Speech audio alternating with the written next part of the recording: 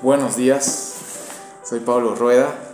Ahora tenía un casito muy especial en la ecografía.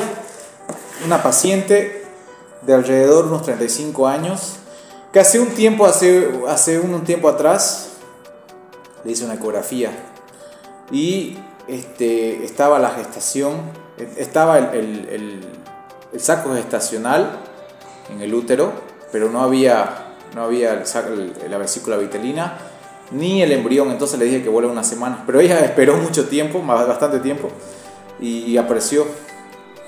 Y le dice, entonces no había el, no había el, eh, nuevamente no había la vesícula vitulina ni el embrión, solo estaba el saco gestacional.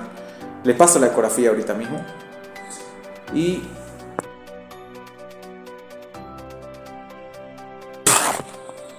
¿Qué es, qué es, qué es el embarazo o gestación anembrionado?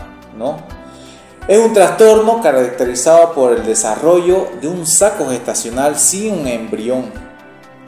Entonces, ocurre cuando un embrión no se desarrolla o deja de desarrollarse en, la gestación.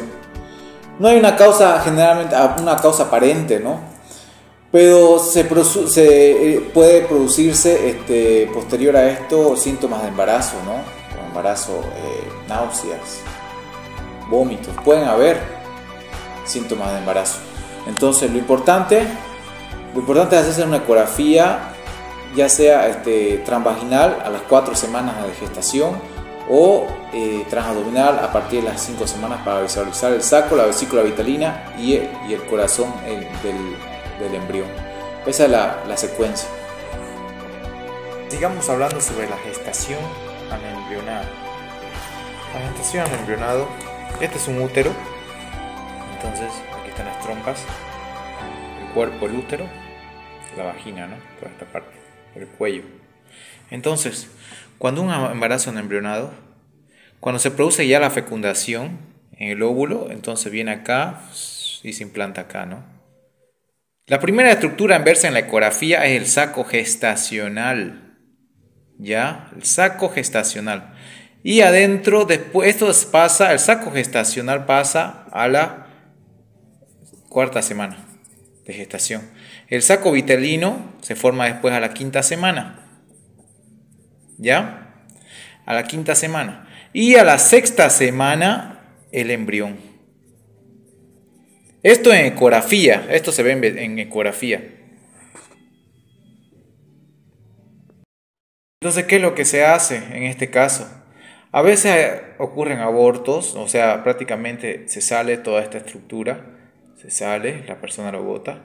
O también hay, hay situaciones que uno debe hacer madurar el cuello con medicamento y para que pueda salir todo esto, ¿no?